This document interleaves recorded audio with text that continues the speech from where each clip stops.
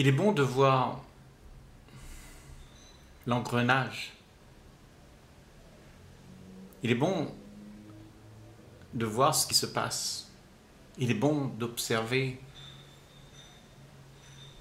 et pour voir les enjeux.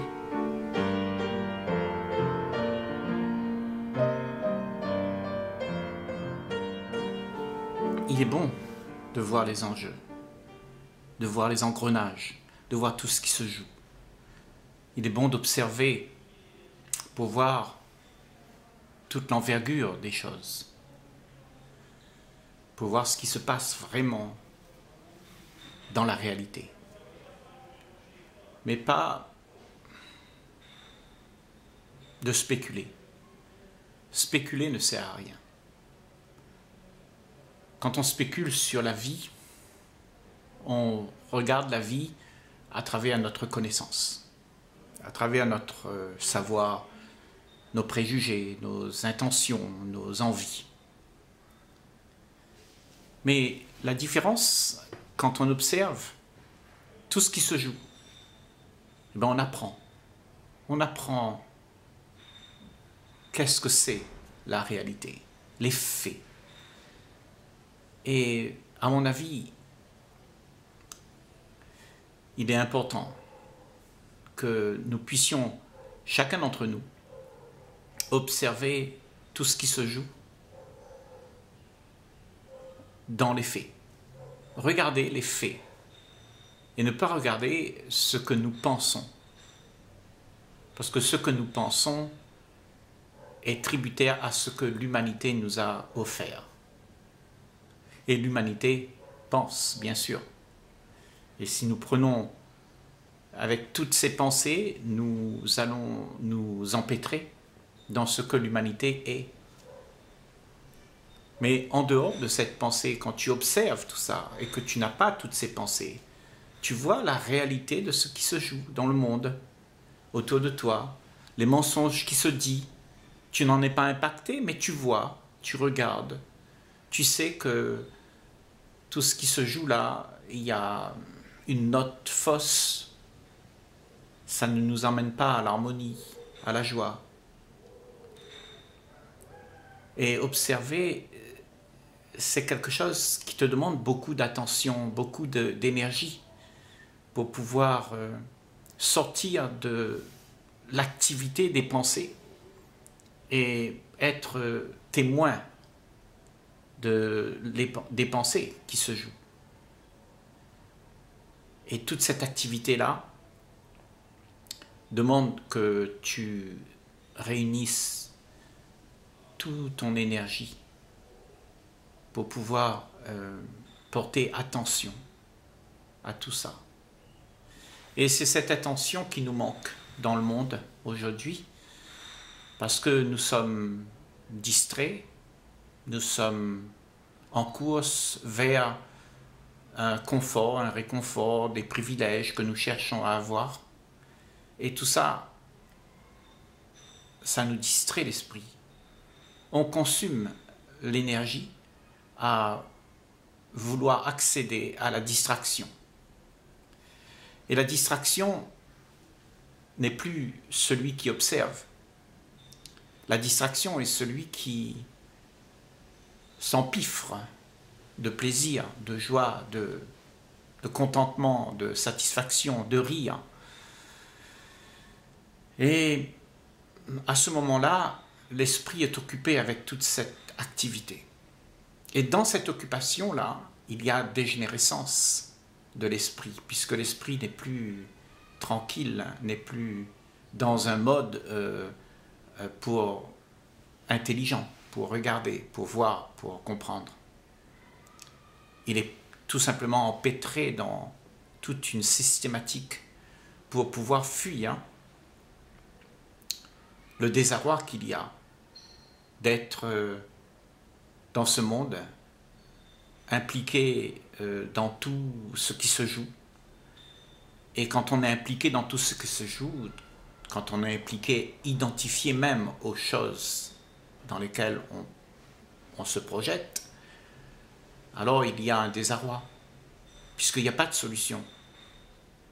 C'est toute une série de répétitions que l'on fait tous les jours et qu'on se donne l'espoir d'arriver à quelque chose qui va égayer le quotidien. Mais ça n'arrive jamais parce que nous sommes tout le temps en train de cultiver la distraction euh, pour pouvoir euh, nous égayer de la monotonie que nous vivons. Donc, faut-il accepter la monotonie?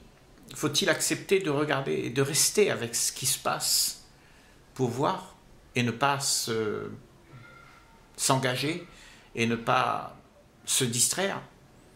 Faire en sorte que l'esprit reste là, présent à tout ce qui se joue. Et ne pas chercher à se distraire dans la compulsion de ce qui est demandé. Parce que c'est ce qui se passe, nous sommes compulsifs. Nous sommes compulsifs quand nous voyons quelque chose qui ne nous plaît pas. Donc on va se distraire, on va vouloir contrôler euh, ce qui ne nous plaît pas.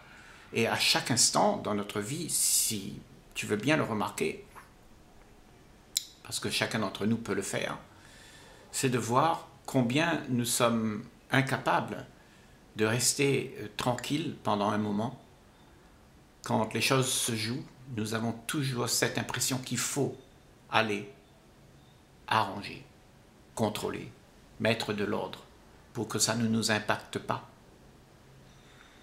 Et toute cette distraction, tout ça, c'est la compulsion des pensées qui vont te demander d'aller faire ce que tu crois qui est bon pour ta zone de confort, pour que tu puisses continuer à perdurer dans cette distraction qui te fait oublier la monotonie. Donc la vie est devenue une bataille, une bataille pour enrayer la monotonie, une bataille pour enrayer euh, ce que nous ne voulons pas vivre, et enrayer quelque chose qui est crucial, vital, la solitude, le vide. On veut toujours le combler, ce vide. On ne veut rien manquer. On veut toujours avoir tout. On veut toujours la sécurité. Et tout cela demande que l'esprit soit constamment distrait par quelque chose qui va nous emmener à avoir toutes ces choses. Et l'esprit, lui, il est dans un engouement terrible pour y accéder. Et cet engouement, ce sera l'ambition et toute la ferveur qu'on y met, le désir qu'on y met pour pouvoir atteindre le gain qui va nous donner le plaisir de vivre, le confort de vivre, la sécurité de vivre. Et en faisant cela, il y a justement toute l'énergie que l'on a pour pouvoir rester tranquille, pour pouvoir observer le monde tel qu'il est dans son fait. Il y a une dissipation de l'esprit. Et qui dit dissipation dit aussi dégénérescence. Dégénérescence de l'intelligence. On devient médiocre parce qu'on accepte la monotonie, on accepte la condition d'être, euh, sans vouloir que rien ne change.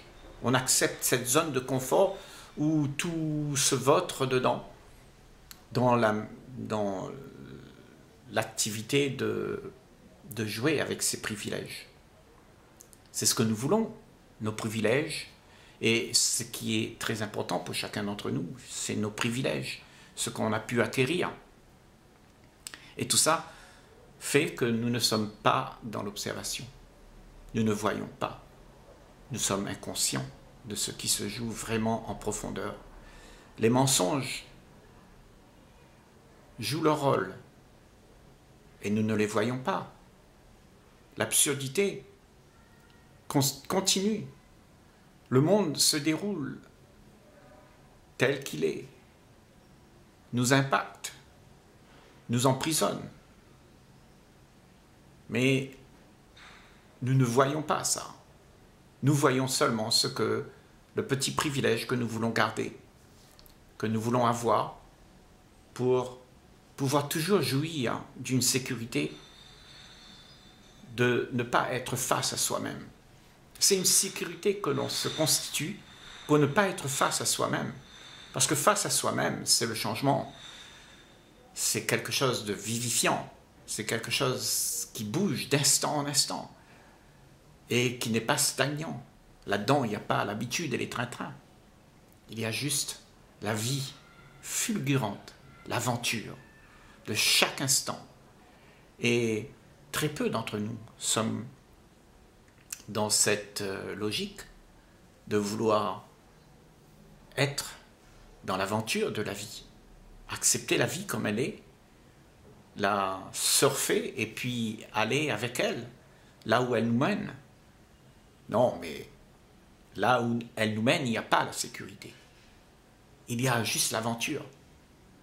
Et cette aventure est émerveillante. Mais nous avons tout fait pour nous distraire. Distraire de cette aventure. Ne pas entrer dedans. Ne pas emboîter le pas dans cette vie magnifique. Nous avons fabriqué une vie. Et cette vie que l'on a fabriquée, c'est la vie de notre réconfort, de notre quotidien qui se perpétue tous les jours de la même manière, qui se répète. C'est ça la vie qu'on a. Mais ça, c'est la vie qui nous empêche de vivre, qui nous empêche d'être, d'être euh, observateur de ce qui se joue. C'est pour ça que l'illusion se perpétue ainsi, de la même manière. Et on ne voit rien d'autre que les histoires que l'on se raconte, c'est-à-dire des mensonges. On vit à travers des histoires, des envies, des désirs, des choses qu'on aimerait avoir qui n'existent pas. On se projette dans des vies extraordinaires, un idéal, quelque chose qui sera beau, mais qui n'existe pas. Ça réconforte la tête, ça réconforte parce que nous sommes dans un monde où les faits nous font peur, où les faits ne sont pas accueillis, où les faits ne sont pas vus, où les faits nous subjuguent, où les faits nous font nous arrêter. Les faits nous font réfléchir. Donc, on préfère interpréter les faits et préférer imaginer des faits comme il, aime, comme il devrait être, plutôt que d'accepter le fait comme il est. Et c'est là toute la difficulté de celui qui veut être en paix. La paix vient de celui qui ne cherche plus à contourner les faits. Il accepte la vie, il vit la vie, il vit ce qu'il y a. Il n'a pas peur de ce qui se passe. Il n'est pas à la recherche dans la compulsion d'un idéal. Il aime tout ce qui arrive parce qu'il est ce qui arrive. Il est lui-même la vie. Parce que celui qui observe tout ça, qui peut observer tout ça, et qui ne rentre pas dans cette distraction pour s'évader de tout ça, alors celui-là est une perception bien plus large que tout ce qui peut se voir avec la vie qu'on a construite. La vie qu'on a construite nous propose une perception limitée, mais la vie qu'il y a est une perception illimitée de joie, de d'émerveillement, de découverte, d'instant en instant nouvelle qui fait que l'esprit devient créatif. L'esprit devient autre chose que l'habitude et le train-train. Il est vivant. La vie se meut à ce moment-là. Et nous sommes la vie. La vie, c'est toi, c'est moi, c'est nous. Il n'y a pas ta vie ni la mienne. Il y a la vie. Et la vie se vit. C'est pas quelque chose qu'on peut en parler. Elle est en toi et elle doit vibrer dans tout ton être pour être là, exister dans, dans un parcours sur l'existence où on va tous au même endroit. Donc autant avoir cette existence avec beaucoup de joie, la joie d'être ce que l'on est, c'est-à-dire la joie d'être vivant, la joie d'être en vie. Et tout ça, c'est en soi une grande joie.